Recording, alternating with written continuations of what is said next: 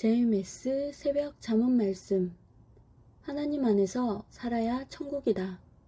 이 말은 하나님을 믿고 살아야 천국이란 말도 되지만 하나님과 일체되어 매일 사랑하며 대화도 하고 영광도 돌리고 같이 살아가는 삶을 말한다.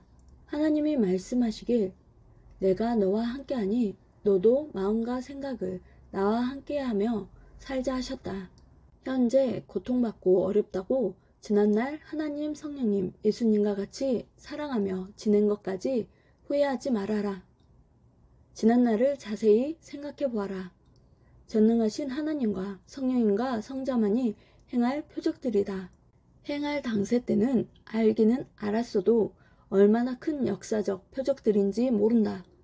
지나고 난 후에 그때야 놀라고 다시 없는 하나님과 성령님이 예수님과 같이 행하신 표적들임을 절실하게 깨닫게 된다. 이런 표적을 보고 믿고 행한 자들이 지금도 믿고 감사하면서 살면 삶 속에 작고 큰 이때에 해당되는 표적을 하나님도 성령님도 예수님도 보이며 당당한 뜻을 펴시며 행하신다.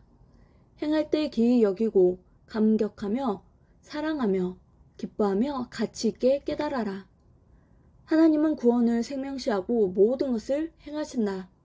육신이 고생돼도 구원을 최우선으로 하여 행하신다. 구원을 못 받으면 영이 영원토록 지옥에서 고통을 받기 때문이다. 그러므로 육신이 구원을 위해 고생을 하여도 그것은 아무것도 아니라고 생각하고 하나님은 그 길로 가게 하신다. 그러나 사람은 육이 고통받지 않는 것을 최우선으로 하며 산다. 그같이 하면 육신도 영혼도 생명을 쉽게 뺏긴다. 하나님은 육이 고통을 받아도 영이 구원받고 황금천국에 오기를 원하신다. 아멘.